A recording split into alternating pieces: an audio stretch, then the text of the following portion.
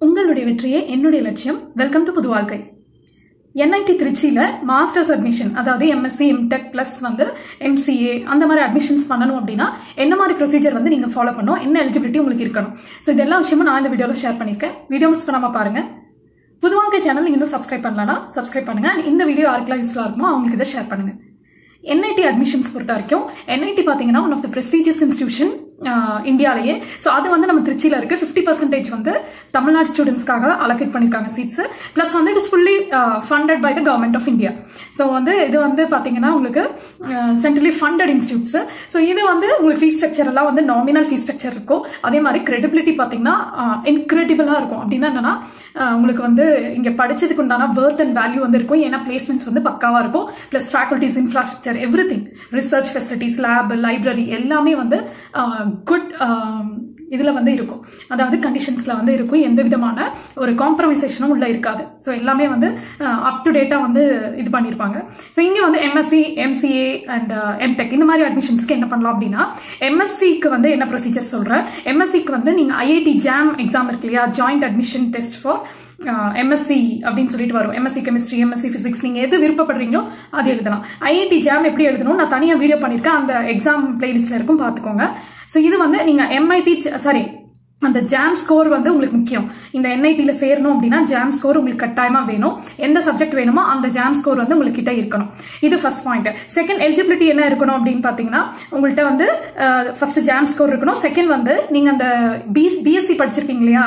Any thing பிஎஸ்சியில் வந்து PCA படிச்சிருக்கலாம். எனி திங் நீங்க படிச்சிருக்கலாம். ஸோ அதில் வந்து நீங்க என்ன பண்ணிருக்கணும்? கிரெடிபிலிட்டி வந்து வச்சிருக்கணும். அதாவது சிஜிபிஏ இருக்கு இல்லையா? கிரெடிட் பாயிண்ட் ரேங்கிங் அது வந்து பார்த்தீங்கன்னா உங்களுக்கு சிக்ஸ் பாயிண்ட் ஃபைவ் இருக்கணும் அவுட் ஆஃப் டென் இது வந்து மேண்டேட்ரி மார்க் சிக்ஸ்டி பர்சன்டேஜ் வந்து நீங்க செமஸ்டர் மார்க்ஸ் வந்து கட்டாயமா வச்சிருக்கணும். நெக்ஸ்ட் வந்து எஸ்சி எஸ்டியா இருந்தா பிப்டி ஃபைவ் பர்சன்டேஜ் வச்சிருந்தா போதும். அந்த சிஜி பிஏ வந்து six percent six for ten வச்சிருந்தா போதும்.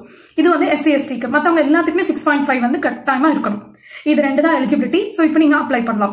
அப்ளை பண்ண அட்ரஸ் வந்து நான் இங்கே கொடுத்து நான் வந்து லிங்க்ல கொடுக்குறேன். ஸோ இது வந்து பாத்தீங்கன்னா உங்களுக்கு அதுக்கப்புறம் வந்து நீங்க ஜாம் ஸ்கோர் எழுதி அந்த ஜாம் எக்ஸாம் எழுதி முடிச்சு உங்களுக்கு ரிசல்ட் எல்லாம் வந்ததுக்கு அப்புறம் தான் நீங்க அப்ளை பண்ண முடியும். அப்ளை பண்ணிட்டு என்ன பண்ணுவோம் அப்படின்னா சென்ட்ரலைஸ்ட் கவுன்சிலிங் ஃபோரம் வந்து அவங்க வந்து ரெடி பண்ணுவாங்க. அதாவது இந்த எம்எஸ்சி அட்மிஷன்ஸ்க்காக எம்எஸ்சி எம்சிஏ எல்லாத்துக்குமே அப்படிதான். நான் ப்ரொசீஜர் ஒன்னா சொல்றேன். ஸோ இந்த கவுன்சிலிங் என்ன பண்ணுவாங்க அப்படின்னா மூணு முக்கியமான ஸ்டெப்ஸ் இருக்கு அவங்களுக்கு. ஃபர்ஸ்ட் ஒன் என்னன்னா நீங்க ஆன்லைன்ல ரெஜிஸ்டர் பண்ணணும். எங்க? அந்த சென்ட்ரல் கவுன்சிலிங் சிசிஎம்என் அப்படின்னு சொல்லக்கூடிய அந்த வெப்சைட்ல உங்களுக்கு நான் வந்து தரேன். இல்லாட்டி இங்கே தரேன். நீங்க பாருங்க. ஸோ ஆன்லைன் ரெஜிஸ்ட்ரேஷன் வந்து பண்ணணும். அது வந்து நீங்க எப்படி வந்து எல்லா இடத்துலயும் ரெஜிஸ்டர் பண்றீங்க? அதே சேம் ப்ரொசீஜர் தான். ஃபர்ஸ்ட் ரெஜிஸ்டர் பண்ணும். அதுக்கப்புறம் அப்ளிகேஷன் ஃபார்ம் வரும். அதெல்லாம் ஃபில்அப் பண்ணணும். Choice filling choice locking MSc chemistry தான் வேணும். இல்ல எம்எஸ்சி பிசிக்ஸ் தான் வேணும். அதே மாதிரி இந்த இந்த காலேஜ் தான் வேணும். எனக்கு என்ஐடி திருச்சி தான் வேணும். இல்லாட்ட என்ஐடி கேலிக்கெட் வேணும். அப்படின்னு சொல்லி நீங்க எல்லாத்தையும் லாக் பண்ணி முடிச்சுட்டு அந்த ஃபைனலா வந்து அந்த ரெஜிஸ்ட்ரேஷன் ஃபார்மை பிரிண்ட் அவுட் பண்ணி கையில் எடுத்து வச்சுக்கோங்க. ஓகே இதுதான் ஃபர்ஸ்ட் ஸ்டெப் செகண்ட் ஸ்டெப் என்னன்னா இது அவங்களுடையது. மூணு ரவுண்ட் கவுன்சிலிங் வந்து வச்சிருப்பாங்க. நீங்க இப்ப எல்லாம் அப்ளை பண்ணிட்டீங்களா? ஜாம் ஸ்கோர் வந்து என்னோட இவ்வளோ இருக்கு. நான் வந்து ஆல் இந்தியா ரேங்கிங்ல செவன் ஹண்ட்ரட் ரேங்க் வரேன். அப்படின்னு சொல்லி எல்லாம் ஃபைல் பண்ணிருப்பீங்க ஃபார் எக்ஸாம்பிள் ஸோ அந்த மாதிரி இதுல வந்து இப்ப கவுன்சிலிங் எடுக்க போறாங்க. கவுன்சிலிங் வந்து மூணு ரவுண்ட் வைக்க போறாங்க. ஸோ மூணு ரவுண்ட்லேயே உங்களுக்கு என்ன பண்ணுவாங்க அப்படின்னா மெரிட் லிஸ்ட்டை தயார் பண்ணிடுவாங்க. ஸோ மெரிட் லிஸ்ட்டை தயார் பண்ணி நீங்கள் மெரிட்டட் ரேங்க்ல வந்திருக்கீங்க அப்படின்னா ஃபர்ஸ்ட் ரவுண்ட்லேயே உங்களுக்கு சீட்டு கிடைச்சிரும். கிடைச்சிருமா? ஸோ இப்போ என்ன பண்ணணும்னா சீட் அலாட்மெண்ட்டுக்குன்னு சில ரூல்ஸ் வந்து வச்சிருக்காங்க. ஸோ அது வந்து உங்களுக்கு வந்து இந்தந்த டிபார்ட்மெண்ட்டுக்கு இவ்வளோ சீட்ஸ்ன்னு சொல்லி வச்சிருப்பாங்க. ஸோ அது வந்து பார்த்தீங்கன்னா நீங்கள் சப்போஸ் என்ஐடி திருச்சியில் கேட்டிருந்தீங்க அப்படின்னா இந்த ஃபர்ஸ்ட் ரவுண்ட் கவுன்சிலிங்குக்கு அதிக மார்க் எடுத்தவங்களுக்கு சீக்கிரமா சீட் எல்லாம் கிடைச்சிரும். ப்ரொவிஷனல் சீட் அலாட்மெண்ட் லெட்டர் பிஎஸ்ஏஎல்னு ஒன்று கொடுப்பாங்க. அதை வாங்கி வச்சுக்கிட்டீங்கன்னா போதும். இதுதான் செகண்ட் ரவுண்ட் அதுக்கப்புறம் வந்து ஃபர்ஸ்ட் ரவுண்ட் கவுன்சிலிங்ல உங்களுக்கு வந்து சீட் கிடைக்கல அப்படின்னா அடுத்த ரவுண்ட் கவுன்சிலிங்க்கு வந்து நீங்க போகணும். இப்போ நீங்க கவுன்சிலிங்க்கு வந்து ஃபீஸ் கட்டணுமான்னு கேட்டா ஆமா. எவ்வளவு கட்டணும் அப்படின்னு பாத்தீங்கன்னா two thousand five hundred rupees fees கட்டணும். எஸ்சி எஸ்டியா இருந்தா டூ தௌசண்ட் கட்டணும். அதே மாதிரி உங்களுக்கு ஒரு சீட் அலாட் பண்ணிடுறாங்க அந்த கவுன்சிலிங்ல ஃபர்ஸ்ட் ரவுண்ட்லயோ செகண்ட் ரவுண்ட்லயோ கிடைச்சிருதுன்னு வைங்க. இப்போ அந்த சீட்டை வந்து உங்களுக்கு பிடிச்சிருச்சு. சரி எம்எஸ்சி கெமிஸ்ட்ரி வந்து எனக்கு ஓகே தான் அப்படின்ட்டு. அப்போ சீட் அக்செப்டன்ஸ் சொல்லிட்டு ஃபிஃப்டீன் தௌசண்ட் ருபீஸ் கட்டணும். எஸ்சி எஸ்டிஆர்னா டென் தௌசண்ட் கட்டணும். ஓகேவா இது முடிஞ்சு.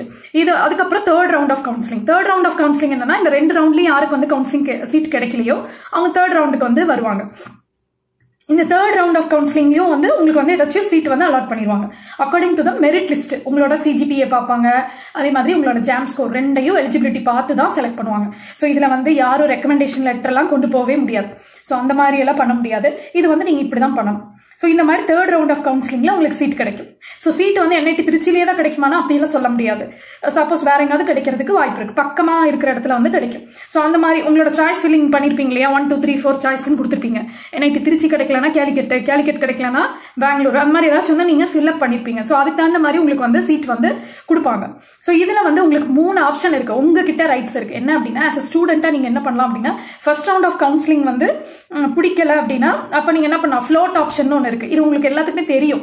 அந்த ஃபர்ஸ்ட் இன்ஜினியரிங் கவுன்சிலிங்லேயே இப்படி தான் வந்து அலாட் பண்ணுவோம் ஃப்ளோட் ஆப்ஷன் அப்படின்னா என்னென்னா நீங்கள் வந்து அந்த சீட் அலாட் பண்ணது வந்து உங்களுக்கு தேவையில்லை. அதனால வந்து வேற ஏதாவது இன்ஸ்டியூஷனில் எனக்கு கிடைக்குதா? பெஸ்ட்டாக வேற ஏதாச்சும் கோர்ஸ் கிடைக்குதான்னு பார்ப்பீங்க. அதுதான் ஃப்ளோட் ஆப்ஷன் செகண்ட் ஆப்ஷன் என்னன்னா ஸ்லைட் ஆப்ஷன் ஸ்லைட் ஆப்ஷன்னா என்னன்னா என்ஐடி திருச்சியில் உங்களுக்கு ஒரு கோர்ஸ் கொடுத்துருக்காங்க.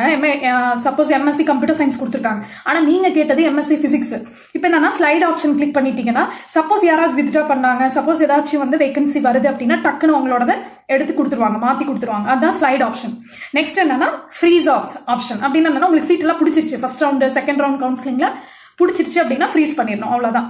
ஸோ இதுக்கப்புறம் அந்த லெட்டர் ஆஃப் இது கொடுத்துப்பாங்க. சீட் அலாட்மெண்ட் லெட்டர் கொடுப்பாங்க. அதை வாங்கிட்டு போய் நீங்க தேர்ட் தேர்ட் ஸ்டெப் என்னன்னா அந்த செகண்ட் ஸ்டெப்ல தான் இந்த கவுன்சிலிங் எல்லாமே சொன்னேன். தேர்ட் ஸ்டெப் என்னன்னா நீங்க போய் ஆன்லைன் டாக்குமெண்ட் வெரிஃபிகேஷன் பண்ணுவாங்க அதெல்லாம் அப்லோட் பண்ணணும்.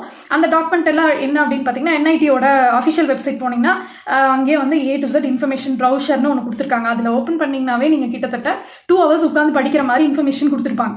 அதெல்லாம் படிச்சு என்ன டாக்குமெண்ட்ஸ் அப்லோட் பண்ணணும் போட்டோ அப்லோட் பண்றது எல்லாமே பண்ணி முடிச்சிடணும். நெக்ஸ்ட் என்ன பண்ணணும் அப்படின்னா நீங்க டைரக்டா போய் அந்த பர்டிகுலர் என்ஐடி எங்க சீட் கிடைச்சிருக்கோ அங்க போய் நீங்க ஜாயின் பண்ணணும்.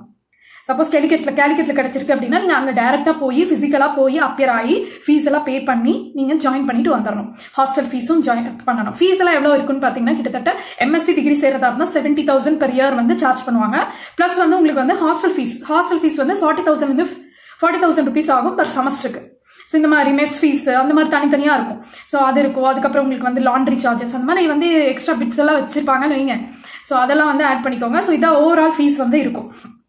இதெல்லாம் நீங்க நேரில் போனீங்கன்னா ஈவன் செமஸ்டருக்கு வேற மாதிரி ஃபீஸ் சொல்லுவாங்க.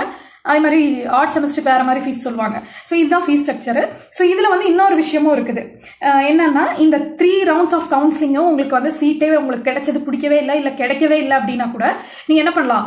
அடுத்தது ஒரு ஆப்ஷன் வச்சிருக்காங்க. என்ன அப்படின்னா ரெண்டு ஸ்பெஷல் ரவுண்ட் ரெஜிஸ்ட்ரேஷன் வச்சிருக்காங்க. அதுக்கு போய் நீங்க என்ன பண்ணணும்? ரெஜிஸ்டர் பண்ணணும். அகெயின் அந்த சிசிஎம்என்ல போய் ஸ்பெஷல் ரவுண்ட் எஸ்ஆர் ரெஜிஸ்ட்ரேஷன் கொடுத்துருப்பாங்க. அங்க போய் நீங்க ரெஜிஸ்டர் பண்ணணும். அங்க போய் ரெஜிஸ்டர் பண்ணாலும் இதே தான் ஆன்லைன் ரெஜிஸ்ட்ரேஷன் பண்ணும் சாய்ஸ் ஃபில் அப் பண்ணணும் லாக் பண்ணும் பிரிண்ட் அவுட் எடுத்து வச்சுக்கோங்க. இதுக்கப்புறமா வந்து ரெண்டு கவுன்சிலிங் ரவுண்டு வந்து வைப்பாங்க. ஸ்பெஷல் கவுன்சிலிங் இது என்னன்னா இந்த வேகன்சி வரும். எல்லாம் முடிச்சிட்டு கடைசியில் என்ன பண்ணுவாங்கன்னா சில பேர் வந்து வித்ட்ரா பண்ணிடுவாங்க. அந்த மாதிரி நிறைய வேகன்சிஸ் வந்து வரும். எதுல? அந்த நார்மல் கவுன்சிலிங் முடிச்சதுக்கு அப்புறம் வரும். ஸோ அதுக்கப்புறமா வந்து இந்த ஸ்பெஷல் ரவுண்ட் கவுன்சிலிங்லாம் ஃபில் அப் பண்ணிடுவாங்க அந்த சீட்ஸ் எல்லாம். ஸோ அதுக்காக தான் வந்து இந்த இது வைப்பாங்க. அதே தான் மூணு ஸ்டெப் நான் என்ன சொன்னேன் அதே தான் ஃபர்ஸ்ட் ரெஜிஸ்ட்ரேஷன் பண்ணோம் செகண்ட் கவுன்சிலிங் கூப்பிடுவாங்க. தேர்ட் வந்து நீங்கள் போய் அட்மிஷன் பண்ணிக்கணும். எந்த காலேஜ் கிடைச்சிருக்கோ அந்த காலேஜில் போய் அந்த சீட் வாங்கிடணும். இதுதான் வந்து எம்எஸ்சியோட அட்மிஷன் ப்ரொசீஜர் பார்ட் டைம் எல்லாம் நீங்கள் பண்ணவே முடியாது. இது ஃபுல்லி ரெசிடென்ஷியல் கோர்ஸ் நீங்கள் தங்கி தான் படிக்கணும். என்ஐடியில் ஓகேவா சரி என்ன ரேங்க் இருக்கணும்? இப்போ இது ஜாம் ஸ்கோர் இருக்கணும் இல்லையா? என்ன ரேங்க் இருக்கணும்னா MSc suppose MSc computer science இது நான் வந்து சும்மா தான் சொல்கிறேன் இது வந்து என்னன்னா நீங்கள் வந்து அந்தந்த எப்போ போய் சேர போறீங்களோ அப்போ அந்த வெப்சைட்டை பார்த்தீங்கன்னா அதில் அப்டேட் பண்ணியிருப்பாங்க so every year it changes so அதனால வந்து இப்போ எம்எஸ்சி கம்ப்யூட்டர் சயின்ஸ் எடுத்தீங்கன்னா உங்களோட ஆல் இந்தியா ரேங்கிங் வந்து செவன் ஹண்ட்ரட் அண்ட் ஃபிஃப்டீன்குள்ள இருக்கணும். ஸோ அந்த மாதிரி இருக்கணும். கெமிஸ்ட்ரி எடுத்தீங்கன்னா thousand five hundred and eighty three all India ranking இருக்கணும். அது மாதிரி வந்து உங்களுக்கு அதுல இருந்து six thousand one hundred and sixty five ranks இருக்கலாம். அந்த மாதிரி இது. அதே மாதிரி மேத்தமெட்டிக்ஸ் எடுத்துக்கிட்டா உங்களுக்கு வந்து நைன் தேர்ட்டி த்ரீ ரேங்க்ஸ்ல இருந்து thousand five hundred and forty eight rank வரைக்கும் எடுப்பாங்க ஜாம் ஸ்கோர் பிசிக்ஸ் வந்து பாத்தீங்கன்னா எயிட் நைன்டி ஃபோர்ல ஆரம்பிச்சு one thousand eight hundred and eighty all India ranking இதுக்கு வந்து அந்த பிசி ஓசி அந்த ரேங்கிங்லாம் இருக்குது அதெல்லாம் நீங்கள் வந்து வெப்சைட்டில் போனீங்கன்னா டீட்டெயிலாக வந்து உங்களுக்கு இருக்குது. ஸோ என்ன ரேங்கிங்கில் நம்ம எடுப்போம் அப்படின்னு சொல்லிட்டு ஸோ அதை நீங்கள் பார்த்துக்கோங்க. இப்போ இதுதான் எம்எஸ்சி ப்ரொசீஜர் இப்போ அடுத்தது எம்டெக்கு என்னன்னா இதே சேம் ப்ரொசீஜர் ஆனா நீங்க என்ன எக்ஸாம்னா கேட் ஸ்கோர் இதுக்கு இது வந்து ஜாம் ஸ்கோர் எம்டெக் ஜாயின் பண்ணணும்னா கேட் ஸ்கோர் வந்து நீங்க எடுக்கணும். கேட் எக்ஸாம் எப்படி எழுதணும்ன்றது நான் என்னோட எக்ஸாம் பிளேலிஸ்ட்ல இருக்கு போய் பாருங்க அதுல ஃபுல் டீடைல்ஸ் இருக்கு. இப்போ கேட் ஸ்கோர் நீங்க எடுத்திருப்பீங்க இல்லையா அதே தான் அந்த ஸ்கோரை வச்சு நீங்க இப்படி நான் சொன்ன மாதிரியே தான் அப்ளை பண்ணணும் எம்டெக் வந்து சிவில் அப்ளை பண்றேன். எம்டெக் ப்ரொடக்ஷன் இன்ஜினியரிங் இனி இன்ஜினியரிங் ஸோ அந்த மாதிரி வந்து நீங்க அப்ளை பண்ணிக்கலாம். அதே மாதிரி கவுன்சிலிங் ப்ரொசீஜர்ஸ் நடக்கும். உங்களுக்கு வந்து ஃபர்ஸ்ட் ஆன்லைன் ரெஜிஸ்ட்ரேஷன் பண்ணணும் செகண்ட் வந்து மூணு ரவுண்டு கவுன்சிலிங் வைப்பாங்க தேர்ட் வந்து அட்மிஷன் பண்ணணும் முடிஞ்சு. இது வந்து எம்டெக் முடிஞ்சா தேர்ட் எம்சிஏ அட்மிஷன்ஸ் இப்போ எம் எம்சிஏக்கு வந்து என்ன பண்ணலாம் அப்படின்னு பார்த்தீங்கன்னா எம்சிஏக்கு டிஃப்ரெண்டாக வச்சிருக்காங்க. என்னன்னு பார்த்தீங்கன்னா நேஷனல் லெவல் என்ட்ரன்ஸ் டெஸ்ட் ஒன்று வச்சிருக்காங்க. என்ஐடி டோட்டல் இந்தியாலே வந்து முப்பத்தோரு என்ஐடி இருக்குன்னு நினைக்கிறேன். அது முப்பத்தோரு என்ஐடிக்கும் வந்து ஒரே நேஷனல் லெவல் என்ட்ரன்ஸ் டெஸ்ட் எம்சிஏக்கு வந்து வச்சிருக்காங்க. அந்த எக்ஸாம் பேர் NIMCET NIM CET exam so அந்த எக்ஸாம் வந்து பார்த்தீங்கன்னா உங்களுக்கு எலிஜிபிலிட்டி அதை எழுதுறதுக்கு என்ன எலிஜிபிலிட்டினா சேம் அதே தான் எம்எஸ்சிக்கு என்ன? நீங்க சிக்ஸ் பாயிண்ட் ஃபைவ் சிஜிபிஏ வச்சிருக்கணுமா? அவுட் ஆஃப் டென்னுக்கு அதே தான் சிக்ஸ்டி பர்சன்டேஜ் மார்க் வச்சிருக்கணும். சேம் அதே தான் இது வந்து பிசிஏ பிஏ பிஎஸ்சியில் வந்து நீங்க இந்த மாதிரி ஸ்கோர் வந்து வச்சிருக்கணும். SC எஸ்டிஆர்னா fifty five percentage semester marks six CGPA வந்து வச்சிருக்கணும். சரி இப்போ என்எம் என்ஐஎம் சிஇடி அந்த நேஷனல் லெவல் எக்ஸாமினேஷன் அதாவது national entrance level examination so அது வந்து இந்த எம்சிஏக்கு எப்படி இருக்கும்னு பார்த்தீங்கன்னா டூ அண்ட் ஆஃப் ஹவர்ஸ் டியூரேஷனில் ஒன் டுவெண்ட்டி எம்சிக்யூ கொஸ்டின்ஸ் கேட்பாங்க. ஃபோர் மார்க்ஸ் ஈச் ஒவ்வொரு கொஸ்டினுக்கும் ஃபோர் மார்க் ஏதாச்சும் தப்பா எழுதிட்டீங்கன்னா ஒரு மார்க் ரெடியூஸ் பண்ணிடுவாங்க. நெகட்டிவ் மார்க் இருக்கு. அதே மாதிரி கால்குலேஷன்ஸ் மொபைல் அதெல்லாம் எதுவுமே உள்ள அலோவ் பண்ண மாட்டாங்க. சரி இப்போ வந்து எப்படி கேட்பாங்க அப்படின்னா மேக்ஸ்ல வந்து ஃபிஃப்டி கொஸ்டின்ஸ் கேட்பாங்க. அனலிட்டிக்கல் லாஜிக்கல் ரீசனிங்ல ஃபார்ட்டி கொஸ்டின்ஸ் கேட்பாங்க. கம்ப்யூட்டர் சயின்ஸ்ல டென் கொஸ்டின்ஸ் இங்கிலீஷ்ல டுவெண்ட்டி கொஸ்டின்ஸ் இவ்வளவுதான். இன்னும் வந்து இது ரொம்ப டஃபாலாம் இருக்காது. இப்படிதான் வந்து இருக்கும். சிலபஸ் வந்து நான் உங்களுக்கு லிங்க்ல கொடுத்துருக்கேன் பாருங்க. எம்சிஏவோட சிலபஸ் அது வந்து பாருங்க. சென்ட்ரலைஸ்ட் கவுன்சிலிங் இதுவும் இப்படிதான். இப்போ நீங்க இந்த எக்ஸாம்ல வந்து மெரிட் ரேங்க் லிஸ்ட் வந்து தயார் பண்ணிடுவாங்க. இப்போ அதுல சென்ட்ரலைஸ்ட் கவுன்சிலிங் எப்படி எம்எஸ்சிக்கு இதுக்கெல்லாம் இருக்கோ அதே சேம் ஃபார்மேட் தான். இப்போ நீங்க இந்த மார்க்கை வச்சு தான் அந்த சென்ட்ரலைஸ்ட் கவுன்சிலிங்க்கு திரும்ப ரெஜிஸ்டர் பண்ணணும். ரெஜிஸ்டர் பண்ணி அவங்க என்ன பண்ணுவாங்க? அந்த த்ரீ ஸ்டெப்ஸ் இருக்கு. ஃபர்ஸ்ட் நீங்க ரெஜிஸ்டர் பண்ணிடுறீங்க. செகண்ட் கவுன்சிலிங் நடத்துவாங்க. மூணாவது சீட் அலாட் பண்ணி அட்மிஷன் நீங்க பண்ணிடணும் அவ்வளவுதான்.